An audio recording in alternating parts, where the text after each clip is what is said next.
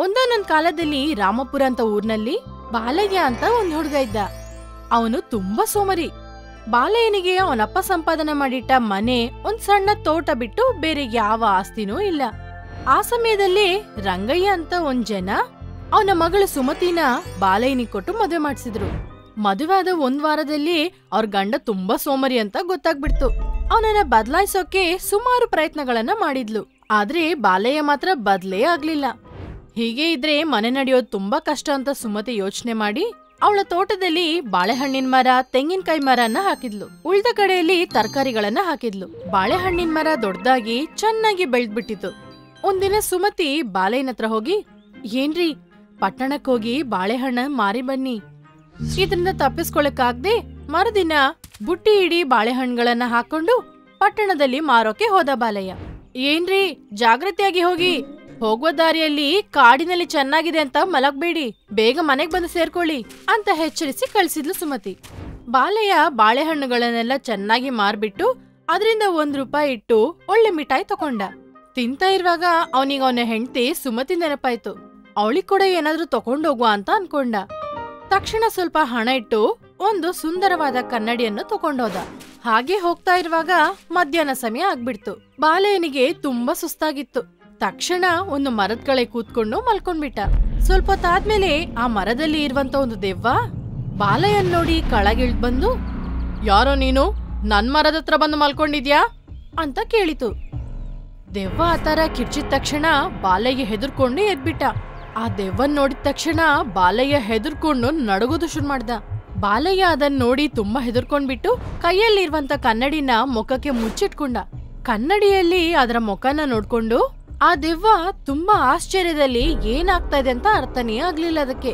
ಕೆಳಗೇನೋ ಮನುಷ್ಯನ ಶರೀರ, ಮತ್ತೆ ಮೇಲೆ ದೆವ್ವದ ಮುಖ. ಈ ತರ ನಾನ್ ನೋಡ್ಲೇ ಇಲ್ಲ. ನೀನ್ ಯಾರು? ನಿನಗ್ ಹೇಗೆ ಇದೆಲ್ಲ ಗೊತ್ತಿದೆ? ಅಂತ ಅದು ಬಾಲನ ನೋಡಿ ಕೇಳಿತು. ದೆವ್ವ ಕೇಳಿದ ಪ್ರಶ್ನೆನ ಕೇಳಿ ಆಶ್ಚರ್ಯ ಹೋಗಿ, ಬಾಲಯ್ಯ ಮುಖದತ್ರ ಇರುವಂತ ಕನ್ನಡಿಯನ್ನ ಕಳಗ್ ಮಾಡ್ದ. ಈ ಸರ್ತಿ ಆ ದೆವ್ವ ಇನ್ನೂ ಆಶ್ಚರ್ಯ ಹೋಯ್ತು. ಅರೆರೆ, ತಮಾಷೆಯಾಗಿದೆ? ಈಗ ನಿನಗೆ ಮನುಷ್ಯನ್ ಮುಖ ಬಂದಿದೆ? ಈಗ ನೀನು ಮನುಷ್ಯರ ಜೊತೆ ಸಂತೋಷವಾಗಿ ಬಾಳ್ಬೋದು. ನನಗ್ ಕೂಡ ಸುಮಾರು ವರ್ಷದಿಂದ ಮನುಷ್ಯರ ಜೊತೆ ಬಾಳ್ಬೇಕಂತ ಆಸೆ ಆಗಿದೆ ನನ್ನನ್ ಕೂಡ ಮನುಷ್ಯಾಗಿ ಮಾಡ್ತೀಯಾ? ಅಂತ ಕೇಳಿತ ಆ ದೆವ್ವ ತಕ್ಷಣ ಬಾಲಯ್ಯನಿಗೆ ಟಕ್ಕಂತ ಒಂದು ಯೋಚನೆ ಬಂತು. ಈ ದೆವ್ವ ತುಂಬಾ ಪಾಪದಾಗಿದೆ. ಇದನ್ನ ಇಟ್ಕೊಂಡು ನನ್ ಬಾಳಲ್ಲಿ ಹೇಗಾದ್ರೂ ಸೆಟ್ಲ್ ಆಗ್ಬೇಕು. ಹಾಗೆ ಮಾಡಿದ್ರೆ ಯಾವ ಕೆಲಸನೂ ಮಾಡದೆ ಜೀವನ ಪೂರ ಸಂತೋಷವಾಗಿರ್ಬೋದು ಅಂತ ಅನ್ಕೊಂಡ ಬಾಲಯ್ಯ. ಆಮೇಲೆ ಆ ದೆವ್ವದ ಹತ್ರ ಸರಿ, ನಾನ್ ನಿನ್ ಕೇಳಿದ ತರಾನೇ ಮನುಷ್ಯನ ಮಾಡ್ತೀನಿ. ಆದ್ರೆ ಅದರಿಂದ ನನಗೇನ್ ಲಾಭ? ಅಂತ ಕೇಳಿದ. ನಾನ್ ಕೇಳಿದ್ದನ್ನ ನಿನ್ ಕೊಟ್ರೆ ನಿನಗೆ ಬೇಕಾದದ್ದು ನಾನ್ ಕೊಡ್ತೀನಿ, ಅಂತ ದೆವ್ವ ಹೇಳ್ತು.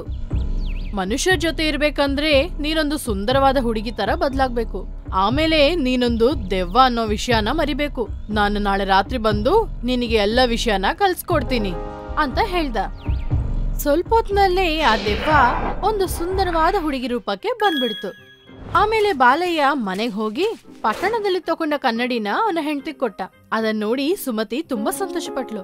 ಸುಮತಿ ಭಯಪಡ್ತಾಳಂತ ಬಾಲಯ್ಯ ಆ ದೆವ್ವನ್ ಬಗ್ಗೆ ಅವಳ ಹತ್ರ ಹೇಳಿಲ್ಲ ಮರುದಿನ ಸೂರ್ಯಾಸ್ತಮಯ ಸಮಯದಲ್ಲಿ ಬಾಲಯ್ಯ ಹೆಂಡತಿ ಹತ್ರ ಈಗ್ಲೇ ಬರ್ತೀನಿ ಅಂತ ಹೇಳಿ ಹೊರಗೋದ.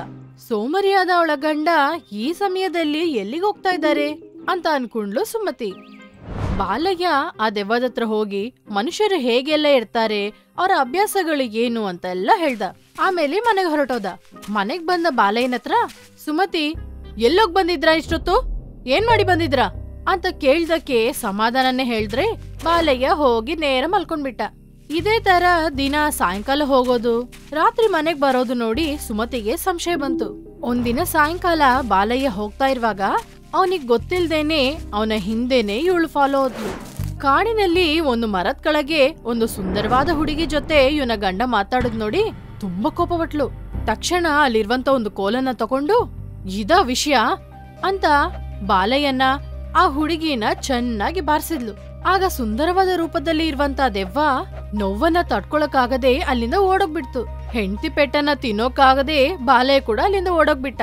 ಸ್ವಲ್ಪ ಹೊತ್ತಾದ್ಮೇಲೆ ಆ ದೆವ್ವದ ಹತ್ರ ಹೋದ ಬಾಲಯ್ಯ, ಇಷ್ಟು ದಿನ ಮನುಷ್ಯರು ಹೇಗಿರ್ತಾರ ಅಂತ ನಾನು ಹೇಳ್ಕೊಟ್ಟೆ ಅಲ್ವಾ? ನನಗೆ ಗುರುದಕ್ಷಿಣೆ ಕೊಡಲ್ವಾ ನೀನು? ಆ ಹುಡುಗಿ ಕೈಯಲ್ಲಿ ಪೆಟ್ಟು ತಿಂದ ಮೇಲೆ ನನಗೆ ಮನುಷ್ಯರ ಜೊತೆ ಇರ್ಬೇಕಂತ ಆಸೆನೇ ಹೋಗ್ಬಿಡ್ತು.